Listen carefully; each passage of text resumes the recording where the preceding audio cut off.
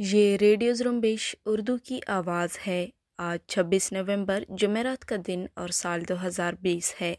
और आपकी मेज़बान सारिन बलोच आपकी खिदमत में हाजिर है।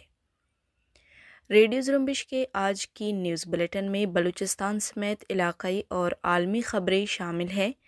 मुसल्ह बलोच आज़ादी पसंद तंजीमों के इतिहाद बलोच राज़ी आजुई संगर ब्रास ने एक पॉलिसी बयान तफसील से जारी की है। ख़बरों की तफसील में जाने से पहले ब्रास का बयान पेश खदमत है।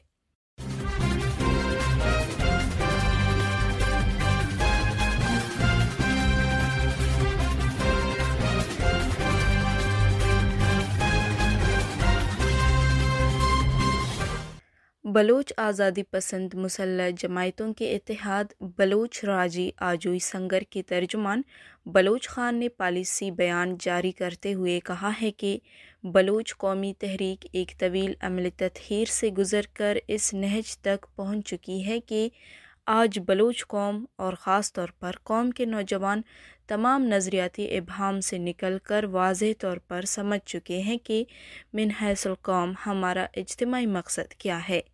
हमारी कौमी बका किस चीज़ में है और उस मकसद को हासिल करने का तरीका क्या है। इसलिए कौमी आज़ादी की खालिश नज़रिए से मतसादम और मतजाद तमाम मसनू जाली तख्लीक करदा नज़रियात अपनी मौत आप मरते गए और आज सूबाई खुद मुख्तारी नाम नहाद मरकज़ियत की पार्लिमानी सियासत करने वालों से महज चंद अनासर फ़क्त अपनी ज़ाती मफादात की तकमील के लिए जुड़े हुए हैं। ज़ात गिरोह से बढ़कर इन अनासर की फ़िक्री, जमायती और कौमी कोई वक़्त बाकी नहीं बची है। जबकि दूसरी जानब बलूच कौमी आज़ादी की फ़िक्र इतनी मज़बूत हो चुकी है कि कौम जानों के नजराना पेश करने से नहीं हिचकिचाती। हज़ारों शहीद लापता होने के बावजूद कौम के पीर जवान इस नज़रिए की हिफाजत और प्रचार अपनी जानों की कीमत पर कर रहे हैं और इस काफ़िले को बढ़ा रहे हैं।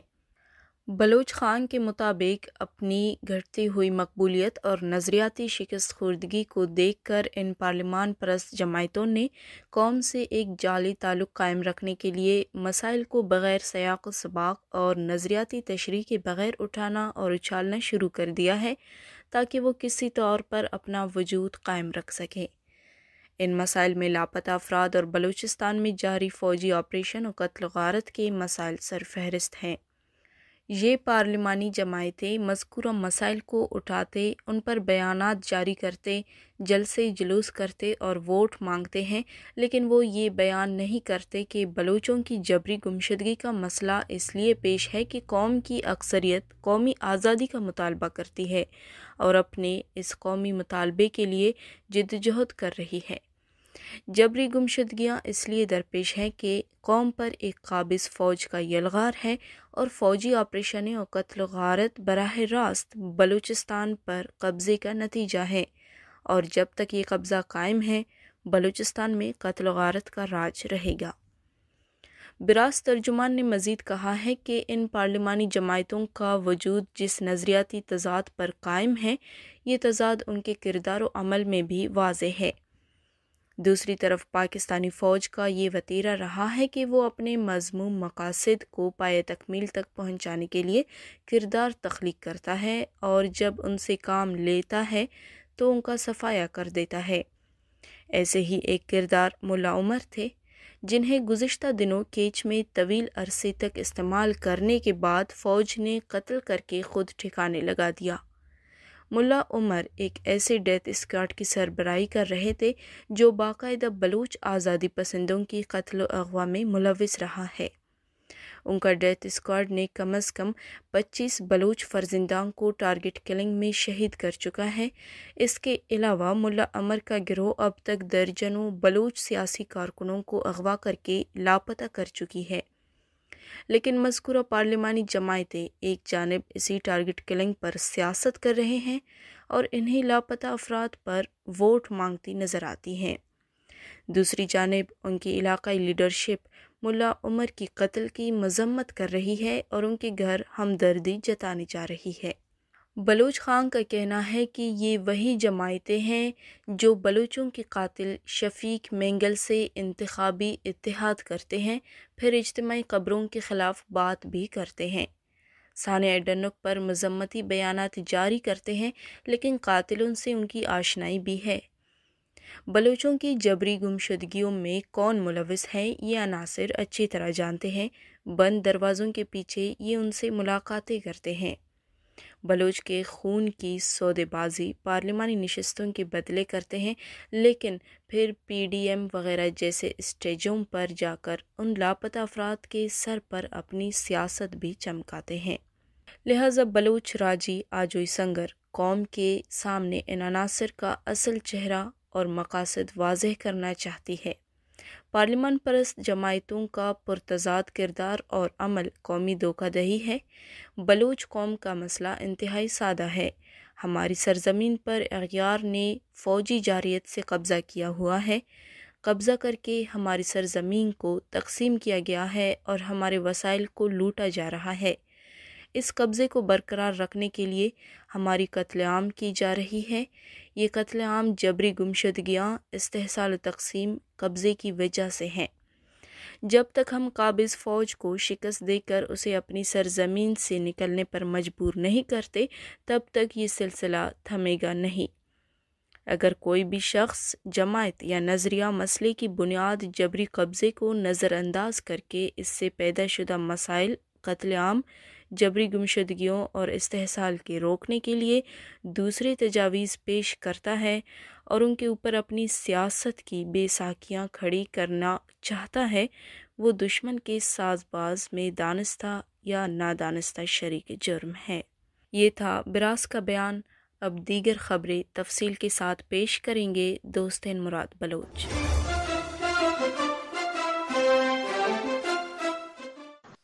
बलूचिस्तान नेशनल पार्टी के मरकज़ी सीनियर नायब सदर मलिक अब्दुल वली काकड़ ने पाकिस्तानी इदारों की तरफ़ से कोयटा में मकामी कबाइल की ज़मीनों पर कब्ज़े की मजम्मत करते हुए कहा है कि यहाँ की, कि यहाँ की आवाम अपने हकूक़ के लिए हर आइनी तरीक़ा एहतजाज अपनाएगी। मकामी कबाइल की ज़मीनों पर कब्ज़ा किसी सूरत भी कबूल नहीं की जाएगी। और मकामी कबाइल जो भी फैसला करेंगे, बलूचिस्तान नेशनल पार्टी उनका साथ देगी। उनका मज़ीद कहना था कि बलूचिस्तान में पहले से रोज़गार के मौाक़े न होने के बराबर हैं और यहाँ के लोग अपनी ज़िंदगी बसर करने के लिए ज़मीनों की ख़रीद फरोख्त करके अपना मुस्तबिल बेहतर करना चाहते हैं। मगर अब कोयटा में मकामी कबाइल की ज़मीनों पर रियासती इदारों की तरफ़ से कब्ज़ा किया जा रहा है। खुजदार में national database and registration authority NADRA office की पाँच से जायद मुलाजमीन कोरोना वायरस का शिकार हो गए हैं। नादरा ऑफ़िस खुजदार के मैनेजर आरिफ बलोच के मुताबिक 20 में से पाँच से जायद मुलाजमीन में कोरोना वायरस की तस्दीक हुई है। उन्होंने मजीद कहा कि इसकी वजह से दीगर मुलाजमीन में भी कोरोना वायरस की मौजूदगी का शुबा है, इसलिए मुतासर मुलाजमीन को करंतना कर दिया गया है। जबकि दीगर मुलाजमीन की सेहत को मद्देनज़र रखते हुए नादरा दफ्तर को चार दिसंबर तक बंद कर दिया गया है। दूसरी तरफ़ कठपुतली बलूचिस्तान हुकूमत के तर्जुमान लियाकत शहवानी ने कहा है कि एस ओ पीज़ की खिलाफ वर्जी पर गिरफ्तारियाँ शुरू कर दी हैं, जबकि बलूचिस्तान में सूरत हाल अगर तशवीशनाक हुए तो मुकम्मल लॉकडाउन की तरफ़ भी जा सकते हैं। लियाकत शहवानी का कहना था कि कोरोना वायरस की दूसरी लहर से बच्चों के ज़्यादा मुतासर होने का खदशा है। उन्होंने मजीद कहा कि कोरोना पर काबू पाने के लिए एन सी ओ सी की तजावीज़ पर अमल करेंगे। किसी को तालीमी इदारों से मुतक फ़ैसले की खिलाफ वर्जी की इजाज़त नहीं देंगे और कोरोना एस ओ पी की खिलाफ वर्जी पर दुकानें सील और मुकदमे दर्ज होंगे और सूरत हाल की संगीनी के पेश नज़र मज़ीद फ़ैसले करेंगे। लोरालाई में गैस लीकेज के बायस मियाँ बीवी हलाक हो गए हैं। हुकाम के मुताबिक वाक़ गैस लीकेज के बायस कमरे में ऑक्सीजन ख़त्म होने की वजह से पेश आया। नोशकी में खल की मेंगल में गैस सिलेंडर की दुकान में आग भड़कने से दुकान जलकर राख हो गई है, जबकि एक शख्स ज़ख्मी हुआ है। सूराब में बिजली की करंट लगने से एक शख्स हलाक हुआ, जबकि कोयटा नवाकिली में गैस लीकेज की वजह से धमाके में तीन अफराज ज़ख्मी हो गए हैं। चमालिक में एक कोयला कान में ठेले की जद में आने से तीन कानकुन ज़ख्मी हुए हैं, जबकि कोयटा में बरूरी रोड बलोच कॉलोनी में एक शख्स ने खुद को गोली मारकर खुदकुशी की है। Balochistan private schools grand alliance ने तालीमी इदारों की बंदिश का हुकूमती फ़ैसला मुस्तरद करते हुए 15 दिसंबर तक निजी इदारों में तालीमी सिलसिले जारी रखने का ऐलान कर दिया है। कोयटा में Balochistan private school grand alliance के तर्जुमान नज़र बड़ेच ने दीगर रहनुमाओं के हमरा प्रेस कॉन्फ्रेंस करते हुए कहा कि बलूचिस्तान में तजारती मराकज़ और बाज़ार खुले हैं, जबकि सियासी जलसे जुलूस और रैलियाँ भी निकाली जा रही हैं। तो फिर तालीमी इदारों को क्यों बंद किया जा रहा है? उनका कहना था कि बच्चों का तालीमी साल पहले ही ज़ाय हो चुका है, इसलिए मज़ीद नुकसान बर्दाश्त नहीं कर सकते और हुकूमत की तरफ़ से निजी तालीमी इदारों के ख़िलाफ़ किसी भी इकदाम का डट कर मुकाबला किया जाएगा।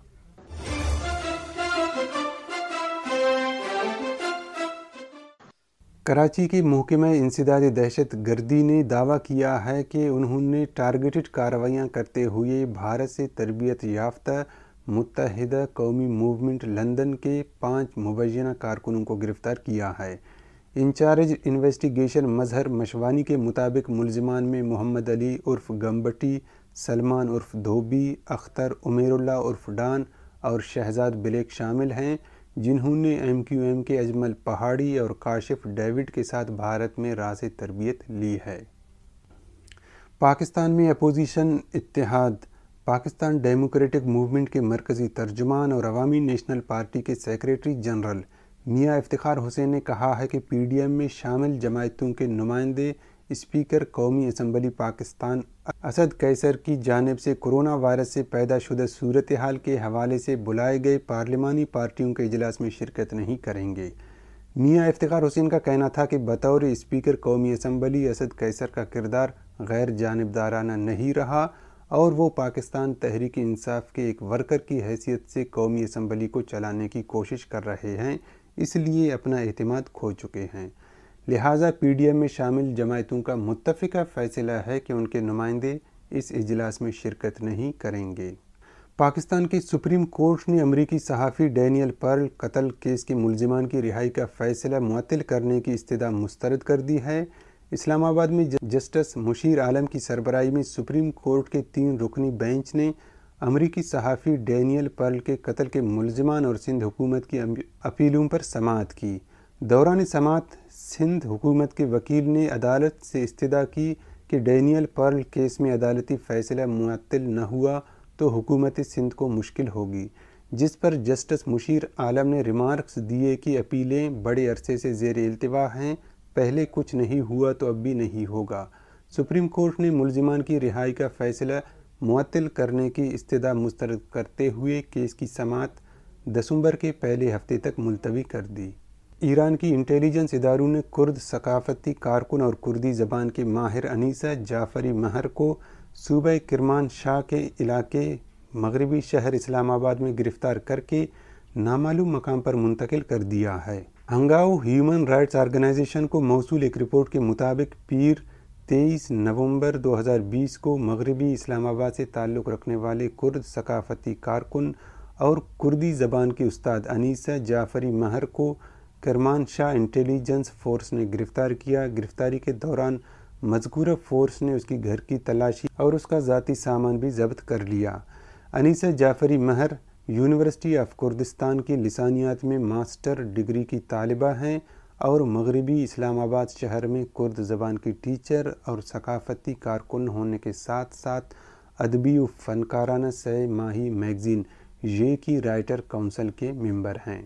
भारत के सूबे उत्तर प्रदेश में भारतीय जनता पार्टी की रियासती हुकूमत ने हिंदू लड़कियों को तब्दीली मज़हब के हक से महरूम करने और मुसलमानों के साथ शादी पर कदगन लगाने के लिए कानून मंजूर कर लिया है।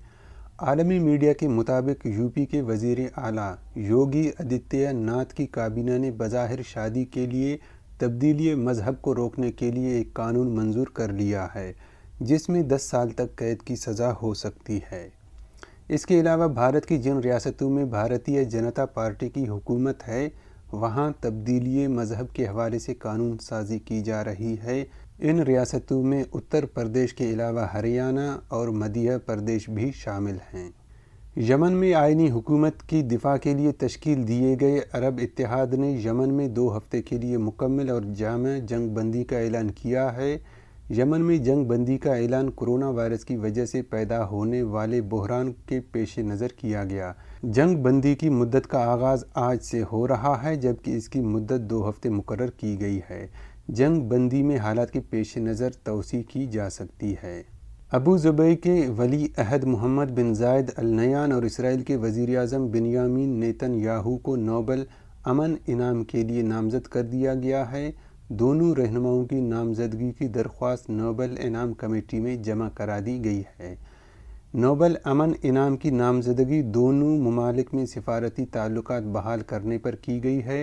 इसराइल के वज़ी अजम बिनयामिन नेतन याऊ और अबू ज़ुबई के वली अहद मोहम्मद बिन जायद अल नहान को नोबल अमन इनाम याफ्ता लॉर्ड डेविड ट्रेम्बल ने नामजद किया है।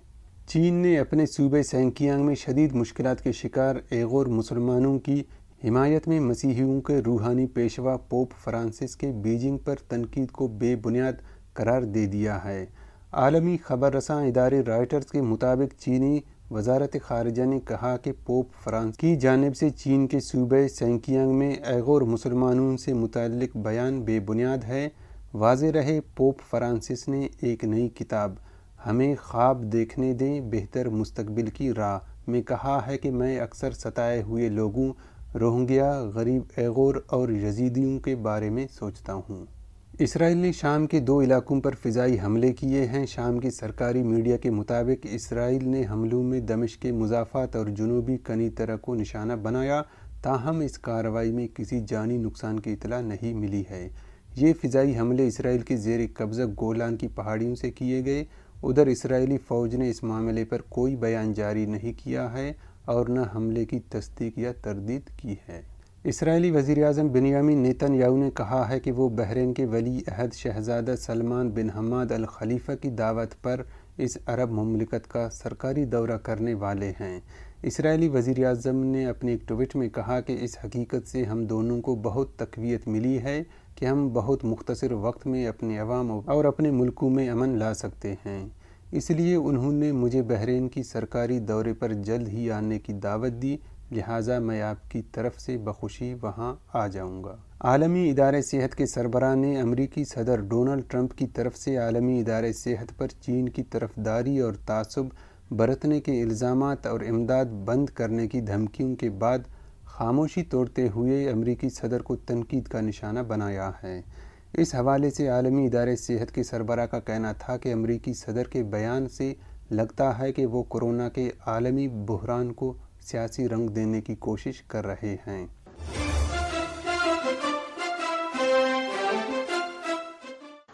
ये था दोस्तिन मुराद बलोच इसी के साथ ही आज के न्यूज़ बुलेटिन का अख्ताम होता है। अपनी मेज़बान सारम बलोच को इजाज़त दीजिए और मज़ीद ख़बरों के लिए विज़िट करते रहिए हमारी वेबसाइट ज़ुरम्बिश डॉट कॉम।